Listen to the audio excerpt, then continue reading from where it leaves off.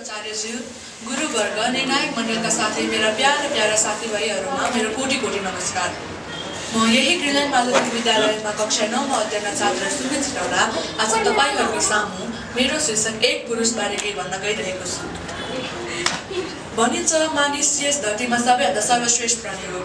तर अहिले जुन गतिमा मानिसमा महिला र पुरुष बिच हिंसा भइरहेको छ र जस्तो भेदभाव भइरहेको छ त्यसले त्यसको ठिक विपरीत जनाउँछ जुन चाहिँ राम्रो होइन केही दिन अगाडिकै कुरा हो हाम्रो यही माध्यमिक विद्यालयको लेखा शिक्षक एक दिन के बेकरीमा केक खान जानुभएको थियो अरे त्यतिखेर उनी उनीभन्दा अगाडि बस्नुभएको नारीलाई चाहिँ त्यो बेकरीवालाले केकको विभिन्न प्रकारहरूको नाम लिँदै जनाइरहेको थियो अरे तर जब उहाँको पालि आयो बेकरीवालाले चाहिँ सरासरी यो असी खाले केक यो सय खाले केक र यो एक सय बिस खाले केक भन्दै भनेछ।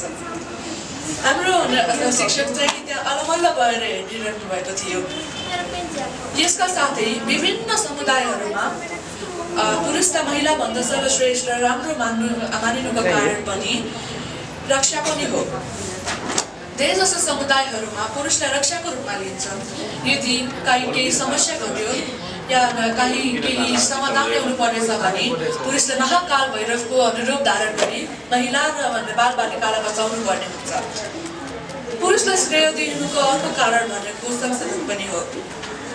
धेरै जस्तो समस्या र धेरै जस्तो कठिनाइहरूमा पुरुषहरूबाटै समस्याको हल र नयाँ नयाँ ठाउँहरूमा गुडमिल गर्न पनि पुरुषलाई अगाडि देखिन्छ यसका साथै यदि घरमा केही सामान्य सामान्य कुराहरू घट्यो केही सामान्य दोषहरू छ भने पनि पुरुषलाई नै त्यसलाई ठिक गर्न लगाइन्छ।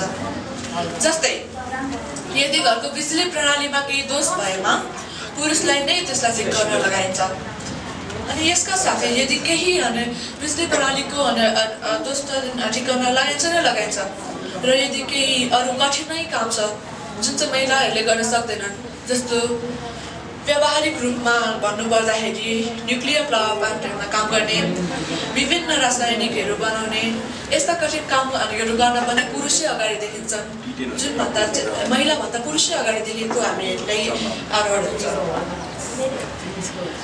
यदि यस समाजमा पुरुष नहुनु भने यो समाज चल्न सक्दैन र महिलाहरू नहुनु भने त झनै चल्न सक्दैन भन्दै म आफ्नो भनाइ यही टुङ्ग्याउन चाहन्छु।